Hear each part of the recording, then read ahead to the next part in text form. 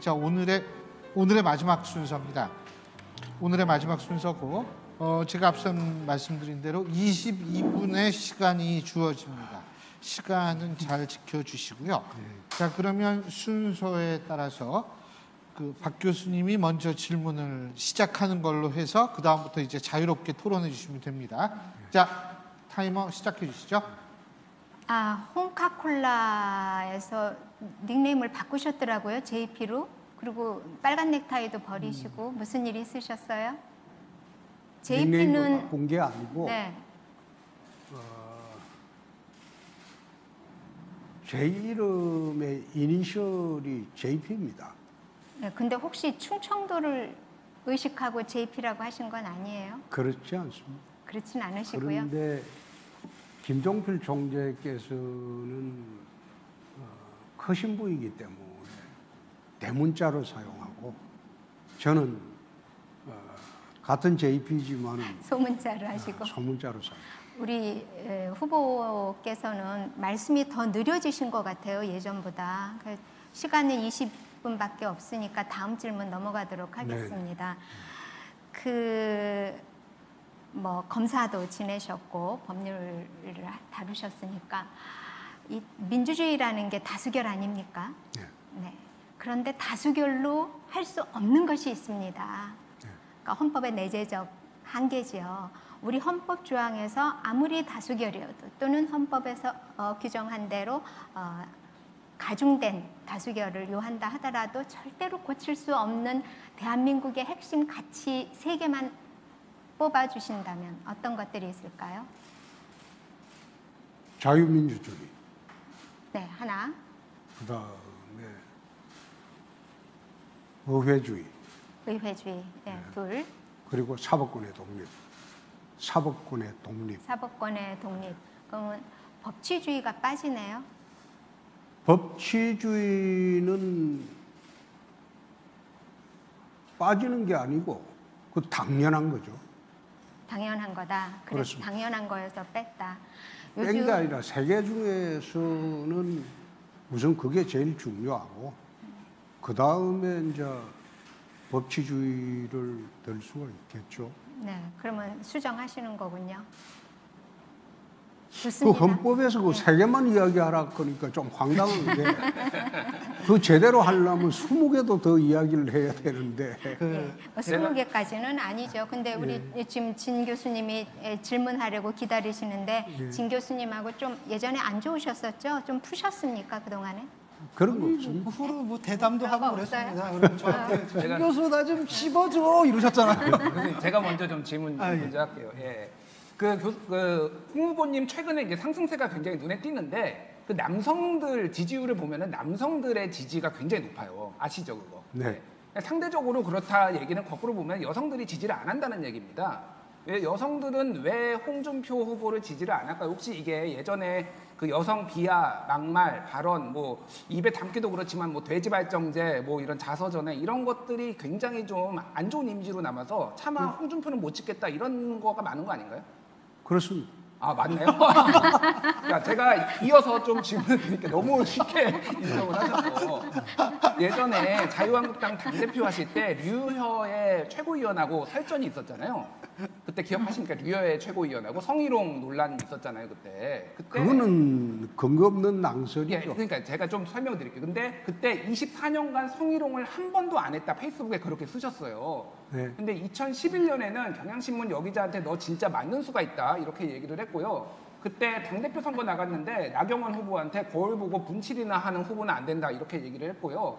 그리고 대학생과의 간담회에서는 이대 계집애들 싫어한다 꼴 같지 않은 게 대들어서 패버리고 싶다 이런 말씀 하셨어요. 이거는 어, 성희롱 발언 이런 거 아닙니까? 그게 성희롱입니까? 그거 성희롱 발언 아니라고 아 생각해요. 다시 한번 검토해 보시죠. 돼지 발정제는 그게? 막말이라면 내 수용을 하겠는데 그건 성적 희롱은 아니죠. 아니 성적 수치심을 느끼고 그 류여의 위원한테는 주막집 주모의 푸념 같은 거를 듣고 있을 수 없다. 그 주막집 주모라고 했는데 그거는 성희롱 발언 아닙니까? 그거는 내 그렇게 지칭한. 거는 아니죠. 그래도 그 성차별 그거는 아마 잘못된 거로 알고 있습니다. 그러면 성차별 발언이라고는 인정하십니까? 그러면? 유행과 그 사람을 지칭한 발언이 아니었습니다. 아니 그때 주막집 주모의 품념을 들을 수 없다라고 류의 최고위원 얘기를 하셨잖아요. 아니 그건 아니죠. 그 무혐의 처분됐습니다. 아니 그, 아니 그 더- 별도의 성희롱 지금- 발언이 있었고 나중에 그, 아니 그 얘기를 들을 수 지금 없다. 말씀하시는 게 어떤 의도로 말씀하시는지 내가 알겠는데 그 사건은 무혐의 처분이 됐습니다. 자, 정의롱 한 일이 없다. 예. 그 발언 한 일이 없다고. 요번에 그 노무현 그거는 무혐의 처분이 됐는데 그걸 자꾸 시비를 거니까 내가 어처구니 없죠. 요번에 노무현 대통령 그 참배하셨죠? 그렇습니다. 그 저기 아방궁 발언한 거 마음속으로 좀 사죄하셨습니까? 그거는 진작 해명을 했는데요. 그거는 제가 아방궁 발언을 하게 된 경위가 노무현 대통령 집을 두고 한 게 아니고 그 주변에 퇴임을 앞두고 국비 지방비가 들어간 게 한 천억 가까이 됐다. 예. 그래서 아방궁 발언을 했는데 실제로 가보니까 아니었다. 그래서 사과 발언 다 했습니다. 예. 그리고 경남지사 할 때도 참배를 했습니다. 예. 진주 의료원 폐쇄권에 대해서 좀 말씀드리겠는데 그 폐쇄하셨잖아요. 그랬는데 진주 의료원이요. 네. 그랬는데 이번에 이제 코로나 사태를 통해 가지고 사실 그 공공의료 기관이 지방에도 필요하다는 사실이 등장 뭐 드러났고 그래서 진주 의료원을 폐쇄했던 것에 대해서 사과를 하라 이런 얘기도 있거든요. 음, 그것도 어처구니 없는 이야기가 진주 의료원을 폐쇄를 한 것은 의료원을 폐쇄를 한 것이 아니라 의료원으로서 기능을 상실했기 때문에 더 이상 둘 수가 없다. 그래서 정리한 것이고 이번에 코로나 사태 대비해서는 제가 마산 의료원을 새로 신축을 했습니다. 경상남도에 도립의료원을 대규모로 거기에 음압병동을 여덟 개를 새로 설치했어요. 그래서 이번 코로나 사태에 대구의 중환자도 마산 의료원에 그 이송해서 치료를 다 했습니다. 오히려 코로나 사태 때 제가 지사할 때 만든 마산 의료원의 음압병동 때문에 훨씬 덕을 봤죠. 그 관련된- 일방적인 주장입니다. 관련된 질문인데 제가 보건의료 쪽 분들한테 얘기를 들으면 홍준표가 대통령이 되면은 전국의 공공병원 다 폐쇄해서 지금 코로나 환자의 80%가 공공병원에서 하고 있는데 이게 지금 코로나 이 대응을 할 수가 없다. 굉장히 우려된다. 이런 식의 지금 얘기들이 있어요. 지금 진주 그런 말씀하시는 분들은 절대 저를 안 찍습니다. 아 그런가요? 안 찍으니까 그러면 그리고 왜 그런가 하면 네. 그거는 억지 논리니까 그런 억지를 부리는 사람들은 선거 가면 죽었다 깨도 저를 그러니까 안 찍습니다. 경- 경제성이 그래서 난 그런 사람한테는. 네. 대꾸를 하지 않습니다. 그러니까 말 같지 않기 병원인데 경제성이 중요한 게 아니라 언제든지 이렇게 활용하라고 팬데믹 상황에서 이렇게 한 건데 경제성이 없다고 지금 잘못 말씀하시는 게 진주 의료원 폐쇄할 때는 경제성 문제로만 폐쇄한 게 아닙니다. 의료원으로서의 기능을 상실했기 때문에 계속 둘 수가 없다는 겁니다. 그 2000 그래서 폐쇄한 겁니다. 2009년 신종플루가 왔을 때 진주의료원에서 11,200명을 진료했고 498명을 치료했거든요. 그 다음에 지금 병상 한 개당 인구수가 서울이 3,758, 전국 평균이 4,104명이거든요. 한 개당. 그런데 경남은 얼마인지 아십니까? 네?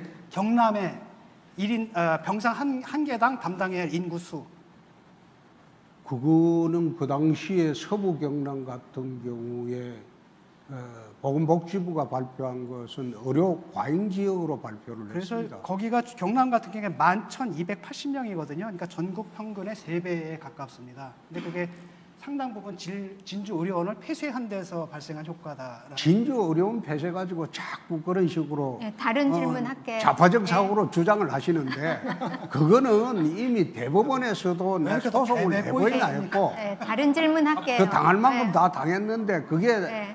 사실상 진주 의료원 폐쇄를 잘못했다고 주장하는 사람은 내 앞으로- 대통령 선거 나오면 절대 그런 사람 나 안 찍습니다. 앞으로 신종 코로나가 그건 왜 골수니까. 오케이 다음 질문 아, 할게요. 골수 좌파고 외골수니까 그런 사람은 저한테 안 옵니다.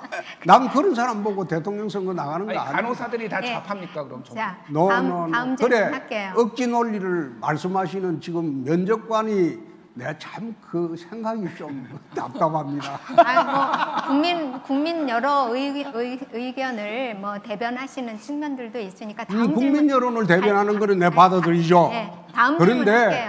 일방적으로 편향된 시각으로 그 질문을 하니까 그런 거는 내 받아들이기가 네. 제가 저희가 질문하는 자. 거 상당 부분 많은 국민들이 생각하고 생각하는 것을 받아 많은 국민이 아니라 소수의 좌파들, 극좌파들이 생각하는 거죠. 자 다음 질문 넘어갈게요. 시간이 20분밖에 예, 없습니다. 예, 하십시오. 어, 정책에 대해서 제가 관심을 많이 가졌는데 정책 발표했다고 저희한테 온 저한테 온 자료는 딱 PPT 한 장이더라고요. 그래서 제가 많이 놀랐습니다. 그래서 다른 데서 이렇게 좀 찾아보니까 부처를 축소하겠다, 의원 수를 감소하겠다, 징병제를 폐지하겠다 이런 정책을 에, 내셨다고 하던데 맞습니까? 네. 뭘 폐지하겠다? 징병제 징- 징병제. 모병제, 모병제. 아, 예. 그래서 잘못 알고 계신데 그러니까 그래서 정확하게 그- 징병제를 폐지하겠다. 그렇죠? 네. 예. 그 그래서 어, 제가 정확한 정책을 좀 알고 싶었는데 예. 잘 어, 정책 발표회 때 PPT가 딱 한 장이어서 제가 너무 놀랐어요. 근데 의원 수 감소 아, 감축하겠다. 제가 18대 때 국회의원 수 200명으로 줄이자고 법안 내는데 동의 안 해주시고 지금 와서는 축소하시겠어요? 나는 그건 기억이 없습니다.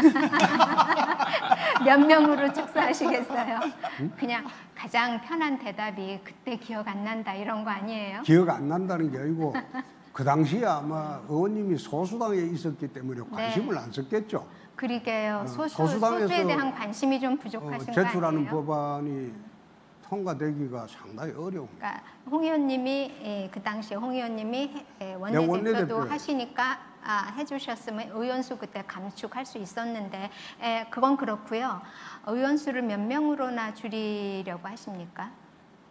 네, 200명이라고 했습니다. 200명 저하고 똑같으시네요. 제가 냈던 법안이 200명이었죠. 150명, 네. 상원 50명. 네, 많은 국민들이 그거는 찬성을 할 것 같아요. 부처는 몇 네, 개로 축소를 하시겠어요? 좀 관련해서 말씀을 드리면은 2015년에 국회의장 산하에 이제 국회 의원수 조정 관련해서 있었는데 OECD 34개국 중에서 한국이 국회의원 수가 31위로 적었어요. 그러니까 인구 10만 명당 한 명이 되려면은 국회의원 수는 500명이 돼야 된다. 그래서 오히려 줄이면은 굉장히 한 사람 한 사람이 특권을 가지게 되고 그래서 의원들의 보수를 낮추고 권한을 낮추는 대신 의원 수를 늘려야 된다라는 게 대체적인 정치 전문가들의 얘기거든요. 오히려 그러면 내- 정치 포퓰리즘 아니신가요? 네, 답변을 할게요.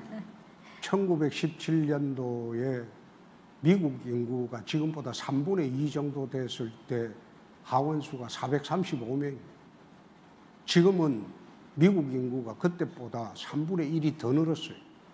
3억 2천 날.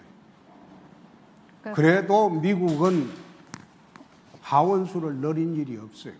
미국 기준으로 하면 우리나라 국회의원 수는 7, 80명만 하면 됩니다. 그게 2012년에 그런데 왜 국회의원을 그래 많이 늘리자고 하는지 예. 나는 이해하기 어렵다. 2012년에 안철수 후보가 똑같이 100명 줄이자라고 얘기한 건데 혹시 안철수 후보 공약을 카피하신 건 아닌가요? 아, 제 질문하시는 게 답변을 꼭 저래 베베 꼬여서 질문하니까 내가 답변하기가 난감하네요. 딴 부처는 몇 하십시오. 부처는 몇 얼마나 축소를 하시겠습니까? 부처는 몇 개나 어떤 부처를 축소하시겠습니까? 부처는 여태 발표한 거는 외교와 통일부를 통합한다. 아, 그리고 통일부. 여가부와 국, 어, 보건복지부를 통합한다. 그리고 중소기업 벤처부하고 산업부를 통합한다. 지금은 내가 세 개만. 이야기를 하겠습니다. 그더 이상 이야기를 하면 각 부처에서 혹시 어, 엄청난 저항이 들어오는 수가 있으니까 자, 그 비례- 세 개만 예. 우선 이야기하겠습니다. 네. 비례대표제를 폐지하자라고 마셔- 말씀하셨지 않습니까? 네. 그건 비례대표 네. 없애자. 그렇습니다. 지금 우리 국민들은 1인 1표가 아니라 1인 2표잖아요. 하나는 인물 투표, 하나는 정당 투표인데 만약에 비례대표를 이제 폐지하게 되면 우리는 한 표만 그러니까 국민은 이제 한 표를 잃어버리는 거죠. 근데 이게 당시 그 헌법재판소에서 이게 위헌 판정이 나가지고 이 제도가 도입된 거거든요. 만약에 비례대표를 없앨 경우에 헌법재판소에서 또 다시 위헌 판정이 날 수 있는 거 아닐까요? 헌법을 바꾸는 판인데 무슨 헌법재판소가 필요합니까? 헌법을 바꾸는 판인데 무슨 헌법재판소가 필요합니까? 아니, 그러니까 이거 선거제도 개혁. 제가 한번 이 헌법재판소 한번 이야기를? 해볼까요? 네. 지난 탄핵 때 헌법재판소에서 하는 거 보니까 헌법재판소도 폐지하는 것도 검토를 해야 되겠더라. 아무 기능 행사 못해요. 차라리 헌법재판소를 폐지하고 대법원으로 통일하는 게 어떠냐. 그 이야기도 많이 나옵니다. 지금 헌법을 폐지하는 바인데 무슨 헌법에 위반되냐. 아니 이제 국민의 힘을 폐지하는 건 어떨까요? 왜냐하면 국민 투표에 붙이면 압도적 다수가 찬성할 것 같은데 예? 국민의 힘 자체를 폐쇄해 버리는 거죠. 글쎄요. 내가 볼 때는 국민 투표를 하게 되면 절대 다수가 찬성할 것 같거든요. 그 제가 말 바꾸기 관련해서 하나 좀 질문을 드릴게요. 최근에 그 DP 넷플릭스 DP를 보고 모병제 도입하자 이렇게 말씀하셨죠. 최근에. 천만에 모병제. 모병제 도입은 5년 전 대선 공약이었습니다. 근데 제가 제가 말한 5년 전 대선 공약이었고 제가 제가 잠깐만요. 어, 지금도 그 이야기는 변함이 없습니다. 2017년 3월에 한경 비즈니스하고 인터뷰를 하셨는데요. 기자가 이렇게 질문했어요. 어, 일부 주자들이 모병제와 군복무 단축을 공약했습니다라고 하니까 그 답변하시는데 택도 없는 이야기입니다. 젊은 사람들한테 표 얻으려는 얄팍한 술책에 불과합니다. 이게 한경 비즈니스 2017년 3월에 하신 거거든요. 그래서 모병제 그때 반대하셨어요. 그런 일이 있었어요? 아니, 언론 기사에 나온 거를 제가 찾아서 그거는- 말씀드린 겁니다. 그거는 내가 모병제 이야기는 이미 5년 전 대선 때 한 이야기고 왜 모병제 이야기를 하는가 하면 선진국에서 모병제를 실시하는 나라가 많지 않습니다. 그리고 중국은 2016년도 이미 징병제를 폐지했고요. 대만도 2018년도 징병제를 폐지했습니다. 유럽은 거의 징병제가 폐지되고 노르웨이만 남녀 공용으로 지금 군대를 가고 있습니다. 세계적으로 지금 모병제로 가는 게 추세고 두 번째 현대전은 머릿수로 하는 전쟁이 아닙니다. 전자전이에요. 지난번에 이라크 전쟁 봤지 않습니까? 미사일 쏘고 다 초토화 시켜 놓고 군대가 들어갈 때는 그건 안정화 작업이라고 합니다. 지금 현대전은 달라졌어요. 그래서 미사일병이나 전문 사병이 필요한 시대가 됐지. 징병제로 하여금 해가지고 관심 사병에만 스- 그 신경을 써가지고 군대가 약화되고 이런 시대가 아닙니다. 그 네, 알겠습니다. 얼마 전에 아, 계속 한마디 좀 질문하세요. 할게요. 네, 이게 다음. 문제는 나는 막 다음 질문요. 사회자 제가 할게요. 예. 잠깐만요. 이거 끝날 때까지 계속 합시다. 아니요. 자, 어쨌든 자, 지금 보게 되면은 저 진주 의료 문제도 그렇고 되게 이제 굉장히 노조 혐오, 그 다음에 이제 그 선 뭐죠? 그 의원 폐지 이런 것도 상당히 정치 혐오, 이래서 굉장히 감정 에 이제 기반한 이런 정치를 좀 하시는 것 같은데 그 중에 하나가 이제 뭐 대통령이 되게 되면은 뭐 민주노총을 혁신하겠다. 근데 그 그 그 방법이 긴급 재정 명령권을 발동하겠다고 하셨거든요. 그렇습니다. 근데 긴급 재정 명령권을 발동하는 요건이 있죠. 그렇습니다. 그 요건이 뭐죠? 한번 찾아보고 말씀해 주시죠. 예, 내후 외환이나 천재지변이고요. 그 다음에 국회 소집이 기다릴 여유가 없어야 한다. 그런데 지금 그게 해당됩니까? YS가 금융실변제 도입할 때 그 요건에 해당돼서 했습니까? 그거는 가, 아니죠. 아 그건 요건에 해당이 그거는. 긴급 재정명령권으로 했습니다. 아, 처음 그거는- 시작할 때는 예. 그리고 난 뒤에 국회를 통해서 입법화를 했습니다. 아 그거는 해당이 됩니다. 왜냐하면 알려서는 안 되는 거고 국회를 소집할 여유가 없습니다. 왜냐하면 이게 알려지는 순간에 소집하는 순간에 그 사실이 알려지기 때문에 하지만 아이, 노조를, 그런- 노조를 가만있어. 때려잡기 위해서 내후 외환도 아니고 천재지변도 아니고 아니, 그다음에 그런 논리대로 한다면 민주노총 잡겠다는데 강성노조 잡겠다는데 알려지면 되겠습니까? 지속을 내야 근데요. 노조야 언제든지 잡을 수 있는 거 아닙니까? 그리고 또 하나는 문제는 뭐냐면 세 번째 요건이 있어요. 국회에 사야 사후 승인을 받아야 되거든요. 돼? 예? 사후 국회에 사후 승인. 승인을 받아야 된다고요. 사후 승인을 받는 근데 이- 시기가 아니 2년 그게 정해지진 이않 요건은 알고 주장하신 겁니까? 그럼요. 모르셨던 것 같은데. 그 어, 내가 사법시험을 합격한 사람입니다. 아유, 저도 저 고등학교 나온 사람인데 삼각함수 다 까먹었습니다. 그 근데 어떻게 그 당에서 면접관들 저 두 분은 아주 골수 좌파들인데 아, 당에서 면접관은? 저런 분들을 면접관으로 또 했죠? 보수를 전향했다 그건 그러시는데. 내가 참 내가 자, 그 저한테는 상관이 없습니다만은 다른 후보들이 골탕 먹겠는데요. 자 후보, 후보도 잘 후보자께서. 아, 간단하게 해주십시오, 박 교수님. 네, 지금 가장 중요한 숙번의 능력이 있느냐 없느냐는 우리 뭐 아주 어, 작은 문제라고 하면 작은 문제일 수- 일 수- 일 수도 있는 뭐 예, 의료원 이런 것도 있겠지만 사실은 분단 국가로서 외교 안보가 굉장히 중요하지 않습니까? 그렇습니다. 북핵 문제 어떻게 푸실 겁니까? 북한 문제요. 해방 이후의 대북 정책을 쭉 보면 이승만 정권 시대에는 반공주의였어요. 박정희 시대에는 성공주의였어요.